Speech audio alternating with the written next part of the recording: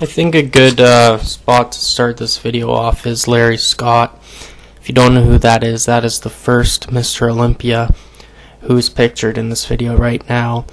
Um, he achieved this body naturally without steroids. He died just this year, which is 2014, at the age of 75, due to complications with Alzheimer's disease.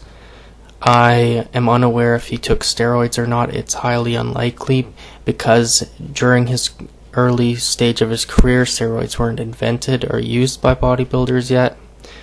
And I wouldn't imagine he would use them as an old man. Uh, the next photo, which is the photo right here, is him um, about uh, five to ten years before his death and as you can see, for an old guy, he's stayed quite in shape, so it's not a chemical body he had, it was a body for life that he earned. Um, the next bodybuilder is Leroy. Um, he was the first man to develop 20 inch arms naturally. Once again, steroids weren't invented yet, and this body is attainable naturally. Um, the next two shots are of current bodybuilders um, with their bloated guts and um, it's not exactly the look that uh, you should be going for.